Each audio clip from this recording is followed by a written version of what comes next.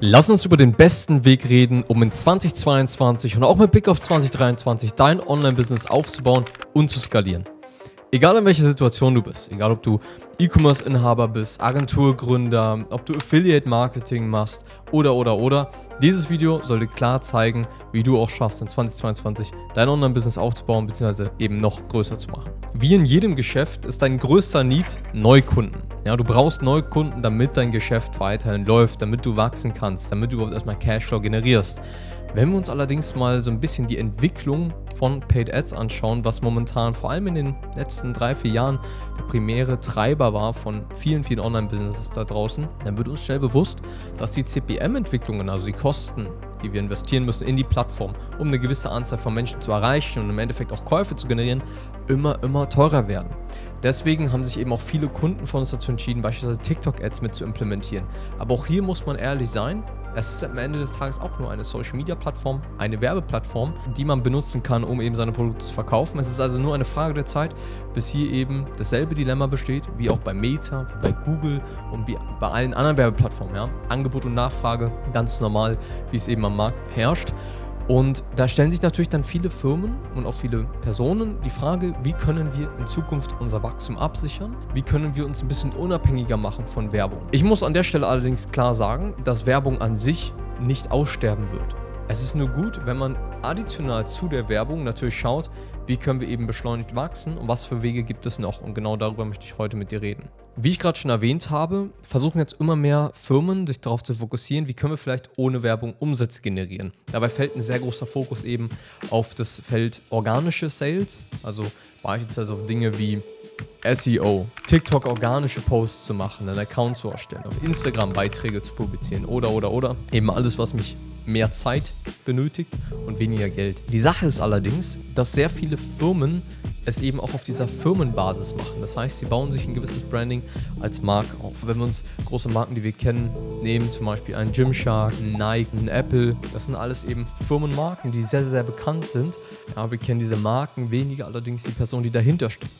Ich habe vor allem recherchiert und geguckt, welche Firmen haben vor allem in den letzten drei bis fünf Jahren besonders viel Erfolg gehabt, haben eine besonders hohe Bewertung, besonders hohen Umsatz, obwohl sie ziemlich wenige Mitarbeiter haben. Und da ist mir schnell bewusst geworden, es sind vor allem Leute wie Kylie Jenner, The Rock, Mr. Beast. Wie kann es sein, dass sie nur einen Bruchteil an Mitarbeitern haben, wie viele andere Firmen, allerdings den zehnfachen Umsatz machen von anderen. Und genau das eben habe ich mir im Detail angeschaut. Der Grund hierfür ist relativ ersichtlich. Es sind nämlich die Medien bzw. Bekanntheit dieser einzelnen Personen, die dafür sorgen, dass quasi morgen ein Mr. Beast sagen kann, ich bin an Stelle X bzw. ich baue Business Y auf und er wird jetzt schon wissen, dass er, wenn er das Ganze startet, eine Vielzahl an Kunden neu gewonnen hat. Das heißt, das Unternehmen ist eigentlich zum Erfolg verdammt. Wenn wir uns die derzeitige Marktlage anschauen, ja, viele drehen ihre Spends runter, weshalb gleichzeitig auch viele kleinere Firmen wieder sich dazu entscheiden, Werbung aufzudrehen, worin natürlich wir als Unternehmen immens profitieren, muss man dennoch sagen, dass Personal Branding wichtiger ist denn je. Das hat extreme Wachstumshebel, wie ich gerade gezeigt habe. Ja, du kannst theoretisch zwei Mitarbeiter haben, allerdings drei Millionen Follower beispielsweise auf Instagram, machst einen Livestream, wo du ein neues Produkt vorstellst und machst innerhalb von 24 Stunden so viel Umsatz wie viele E-Commerce-Firmen da draußen innerhalb von einem gesamten Jahr. Einfach nur aufgrund deiner Bekanntheit, obwohl du nicht zwingend mehr Schlagkraft hast. Deine Schlagkraft ist in dem Moment deine Bekanntheit. Das Tolle an einem Personal Branding ist natürlich außerdem, dass du deutlich greifbarer bist als eine reine Markenname, ja, also jetzt im Sinne von einer Firma. Die Firma ist wenig greifbar, wie jetzt zum Beispiel auch dich als Person, hast vielleicht Ähnlichkeiten, sagst vielleicht, okay, damit kann ich mich überhaupt nicht identifizieren, aber so oder so, ich bin greifbarer als einfach nur ich sag mal, eine Firma. Außerdem ist es natürlich so, dass du deutlich geschäftsunabhängiger bist. Das heißt, blicken wir mal in die Zukunft. Vor allem solche Dinge wie YouTube. Allgemein Personal Branding ist natürlich ein sehr Long-Term-Game. Wir reden hier teilweise von vier bis zehn Jahren, um das wirklich erfolgreich aufzubauen. Dann wird es wahrscheinlich so sein, dass du in vier bis, sagen wir mal, sechs Jahren zum Beispiel noch weitere Unternehmen gründest, vielleicht andere Vorhaben hast und hast du dort einen neutralen YouTube-Account, der mehr personenbezogen als geschäftsbezogen ist, dann bist du natürlich auch geschäftsunabhängiger und kannst diese Reichweite auch für verschiedene Unternehmen verwenden. Wichtig an der Stelle ist allerdings mal ganz klar zu sagen, dass Personal Branding oder allgemeines Thema Branding nicht das erste sein sollte, was du machst. Ja? Denn meistens dauert es vier bis zehn Jahre, bis es überhaupt erstmal so greift, dass es auch wirklich Einnahmen generiert für dich. ja, in diesen ersten vier Jahren, sagen wir die ersten drei Jahren, musst du ja irgendwie dafür sorgen, dass das Unternehmen trotzdem wächst. Und da ist meine ganz klare Empfehlung, und da gibt es zum jetzigen Stand in meinen Augen keine bessere Lösung als eben ähm, PPC-Marketing, das heißt bezahlte Werbungen wie Facebook, TikTok-Ads, Google Ads.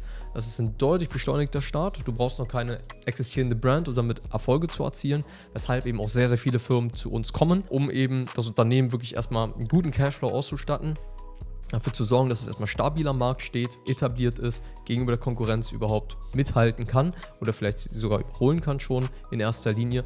Und dann solltest du schauen, dass Personal Branding eben mit integriert wird.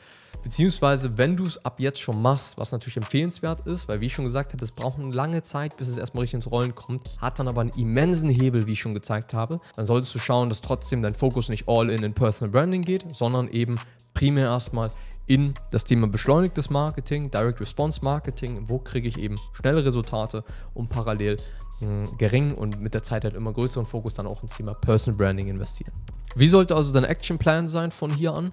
In erster Linie schau, dass du ein System schaffst, was du dir vorstellen kannst, ein Jahr durchzuziehen für das Thema Personal Branding. Das heißt, sei nicht zu optimistisch, dass du jetzt irgendwie sagst, okay, ich mache zum Beispiel sieben LinkedIn-Beiträge pro Woche, noch zwei YouTube-Videos, noch irgendwie 10 TikToks in der Woche. Das wirst du vor allem, wenn du allein am Anfang bist, nicht hinkriegen, außer du hast ein Team für das Thema. Dann zweitens, schau, dass du das Ganze umgesetzt bekommst, da eine gewisse Konstanz aufbaust, aber vor allem schaust, dass du eben so schnell wie möglich mit PPC-Marketing anfängst. Ja? Also bezahlte Werbung zu integrieren, damit du einfach schnelle Resultate erzielst und dann eben auch die Möglichkeit hast, überhaupt in späterer Instanz auch konstant dafür zu sorgen, dass du dein Personal Branding pflegen kannst. Denn wenn wir uns jetzt Schritt 3 anschauen, das ist nämlich dann das Thema, auch ein Team aufzubauen in der Thematik, zu schauen, wie kann man halt Personal Branding wirklich ein System reinkriegen, eine Maschinerie, damit es langfristig eben auch konstante Einnahmen generiert, damit es das Unternehmen unabhängiger macht von den anderen Marketingkanälen, vielleicht auch mal Blick auf Exit, den Multiplikator, also den Wert des Unternehmens steigert. Da muss man schauen, obwohl bei Personal Branding Geschichten das mit dem Exit sowieso immer noch mal ein bisschen kritischer ist, weil es sehr markengebunden ist, also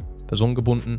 Ähm, nichtsdestotrotz, für dich als Person, die das Unternehmen leitet, ist Personal Branding eben immer sehr sinnvoll, weshalb man da eben schauen kann später auch, dass man da ein Team einstellt. Geht allerdings nur, wenn noch ein gewisser Cashflow besteht, was eben durch PPC-Marketing sehr, sehr gut abgesichert werden kann. Ich denke, die Message ist angekommen. Personal Branding war noch nie wichtiger denn je. Das zu addieren, ja, mit PPC-Marketing eben zu summieren und eben langfristig zu schauen, dass dadurch eben einfach man sich unabhängiger macht von anderen Plattformen. Wenn du allerdings momentan noch nicht an dem Punkt bist, wo Branding dein einziger Hebel nur noch ist, solltest du natürlich erstmal ins Gespräch mit uns gehen und deine derzeitige PPC-Ads Situationen betrachten, schauen, ob man da eben erstmal noch Fehler findet, gewisse Wachstumsblockaden, wo man reingehen kann, ja, wo unser Team reingeht und schaut, okay, wie kriegen wir dich schneller zu dem Punkt, dass du vielleicht auch frühzeitig schon das Personal Branding Thema auch mehr und mehr investieren kannst. Dafür muss aber einfach genügend Profit im Unternehmen generiert werden. Aber genau das ist eben äh, unser primärer Fokus als Team. Ja, nichts anderes machen wir eigentlich tagtäglich. Also an der Stelle, wenn du eben ein E-Commerce-Unternehmen hast und schauen möchtest, wie können wir eben vor allem den Umsatz als auch den Profit auf ein weiteres äh, Level heben, selbst in den derzeitigen etwas schwierigen Situationen, obwohl wir natürlich auch gerade uns in Q4 befinden. Nichtsdestotrotz, wir, man darf nicht darüber ja, hinwegschauen, dass eben der Konsumindex niedriger denn je ist, zumindest wenn man die letzten Jahre betrachtet. Und damit das hier eben ja, nicht so geht wie manch anderen E-Commerce-Firmen. Suche einmal das Gespräch zu uns. Ansonsten, wie immer, liebe Grüße aus der Brinitz und bis zum nächsten Video.